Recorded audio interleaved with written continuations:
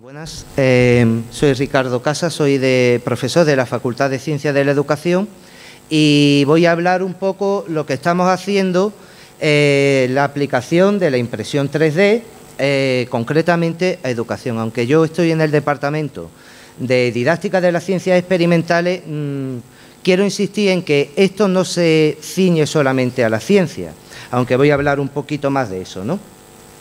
En primer lugar, eh, muy brevemente, eh, quería, lo tenéis en la presentación, que estará disponible para todo el mundo, quería indicar que ya hay bastantes estudios que indican que el proceso de creación, modelado, eh, todo lo que es el diseño, luego la impresión, está teniendo un impacto bastante positivo en la docencia. Los estudios que hay indican, por ejemplo, que tanto que se habla ahora de la formación, la educación por competencias, ¿no?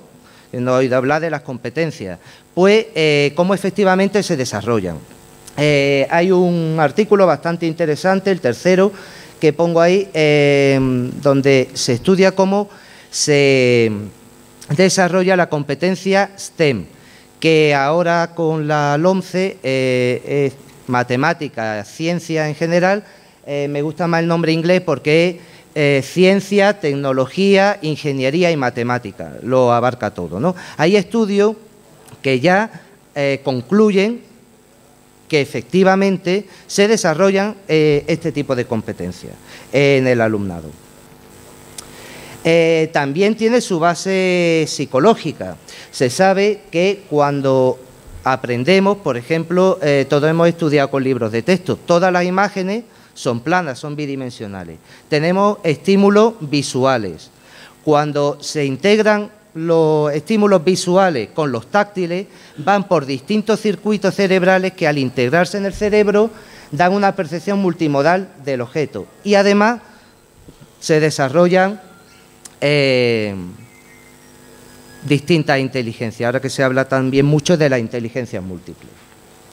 Bien, las limitaciones que hay ahora mismo eh, a la hora de aplicar la impresión 3D al aula. Pues limitaciones hay muchas. En primer lugar, coste de la impresora. Eh, es difícil meterse en este mundo, los profesores muchas veces no tienen tiempo, antes lo comentaba con un compañero, incluso les asusta meterse en este mundo. Eh, hay que aprender, hay que tirar mucho plástico para conseguir eh, sacar una pieza que esté bien al principio, se estropea la impresora y va uno corriendo a Createc a que te miren a ver qué es lo que le pasa eh, y al final solamente que se había atascado el cabezal, ¿no? Eh, cosas así. Entonces asusta bastante. entonces el Horizon Report, uno de los los informes sobre educación a nivel mundial más, más importantes, le dan un plazo de adopción de dos a tres años, aunque hay otros informes un poco más pesimistas que dan cinco años. Yo incluso preveo aquí para España quizá hasta más. Perdón. Entonces, eh, ahí hay algunas referencias eh, sobre la, las limitaciones, los problemas que ven los profesores. De hecho, en mi departamento y en toda la Facultad de Ciencias de la Educación yo soy el único que se dedica a esto, pero no es por nada, es que entre que tenemos que publicar, tenemos que dar clases, tenemos que publicar, tenemos que conseguir la acreditación y tenemos que publicar e ir a congreso y, y publicar, pues no hay tiempo, ¿no? Entonces, pues, pues bueno, poquito a poco pues se va se va extendiendo. Otra, otra limitación es que hay mm, poco software que puedan manejar los niños para diseñar y a partir de ahí poder crearse las piezas, aunque a mí me gusta mucho la iniciativa, está el programa Tinkercad, no sé si alguno lo conocéis, lo pueden manejar los niños, mi hijo sabe manejarlo, eh, con seis años ya se diseñan sus cosas, es muy sencillo. ¿De acuerdo? Y eh, bueno, se quiere como todo un poquito de aprendizaje. La ventaja no saca un modelo que mira qué chulo la foto, no, es que luego te lo imprime. Y eh, bueno, también eh, estoy viendo que no se ve muy bien el que no pueda ponerse a diseñar porque no tiene tiempo y tiene su dificultad, pues hay una cantidad de repositorios donde se puede descargar pues yo creo que ya cientos de miles de modelos de todo tipo. Este es uno de los que a mí más me gustan, Thingiverse, que tiene modelos de todo. Eh, por ejemplo, yo tengo algunos cráneos de distintos Australopithecus y es una red social, eh, igual que uno puede poner me gusta, ¿no? el like de Facebook y todo esto, pues puedes poner, es que no se ve, pero bueno, ya, ya si queréis podéis mirar la presentación, lo he hecho, igual que el like, pues made, lo he hecho. Y entonces, claro, si uno hace un diseño, lo pone y luego tiene 2.000 personas que lo han hecho, pues eso gusta, ¿no? Luego está GrabCAD, que está más, orientado a ingeniería. La institución smithsoniana, el Museo Smithsoniano, tiene un montón de cosas escaneadas. Ya hay museos que se dedican a escanear lo que tienen y lo ponen a disposición de todo el mundo. Son gratuitos. Tengo un. Tendré que tener tiempo para imprimir un esqueleto de un mamut entero que lo sacaré por parte. Morphosource es genial porque aquí los antropólogos cuando encuentran un cráneo, restos de algún, algún homínido, lo escanean y lo ponen. Entonces hay otro antropólogo de otro sitio del mundo, lo, lo imprime y lo puede estudiar. No hace falta irse hasta Sudáfrica para ir allí al museo, que te lo saquen sin que tú casi ni lo tocas porque se rompe. No, no, ya lo puedes imprimir y lo puedes estudiar. African Fossils también y Digital Morphology. Son distintos repositorios que hay. Sketchfab, aquí hay personas que se dedican también a escanear obras de arte. Eh, son estatuas, restos arqueológicos de todo tipo. Bien, eh, nosotros estamos haciendo los primeros experimentos, igual que los biólogos hacen experimentos con ratones, nosotros lo hacemos con alumnos, ¿no? No hay que diseccionarlos ni nada, pero se le, hacemos cosillas, le hacemos pruebas.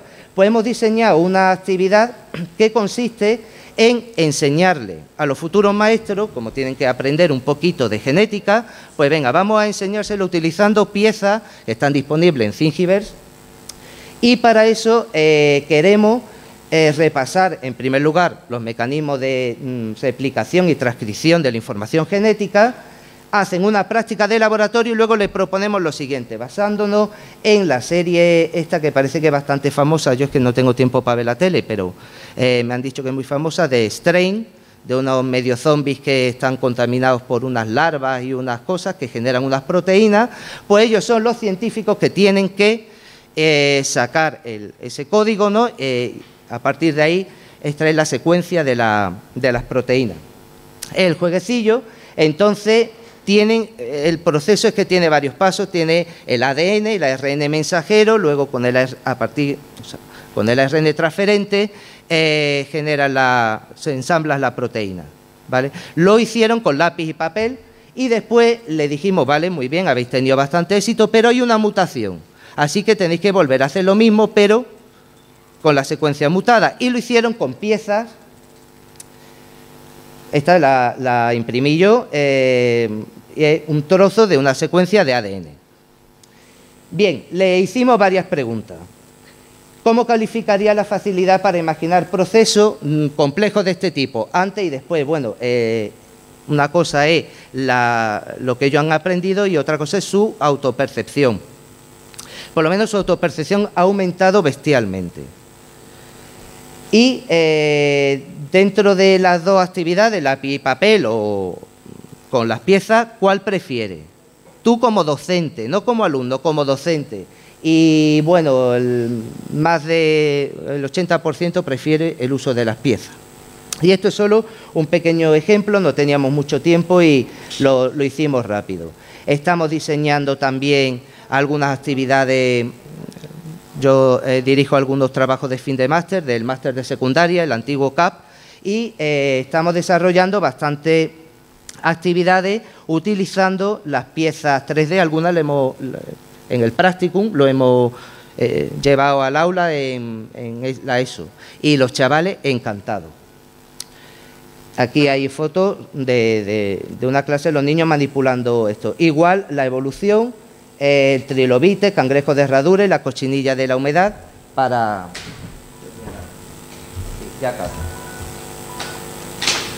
Para eh, el estudio de la evolución también tengo algunos australopithecus en mi ordenador que cuando tenga tiempo lo, lo imprimiré, la estructura del ADN, estos son también fósiles, hay una cantidad de fósiles tremendo y esto lo he, lo he hecho yo, estoy haciendo un puzzle de Andalucía.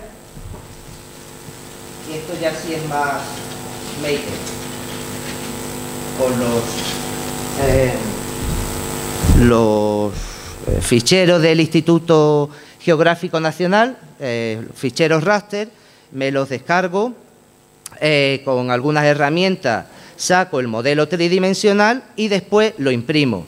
Y esto es Granada, por ejemplo, en tres dimensiones, que yo sé que lo hay por ahí, y cuestan su dinero, bueno, pues esto no me ha costado nada y además estoy haciéndolo en forma de puzzle para que vayan encajando las provincias. Esto lo pueden hacer los niños también para que aprendan geografía, por ejemplo. Estos son solo algunas de las cosas que, bueno, que estoy haciendo. Si alguien quiere algo, pues ampliar sobre este tema, pues puede preguntarme lo que desee en cualquier momento. Estoy a disposición de todo el mundo. Muchas gracias.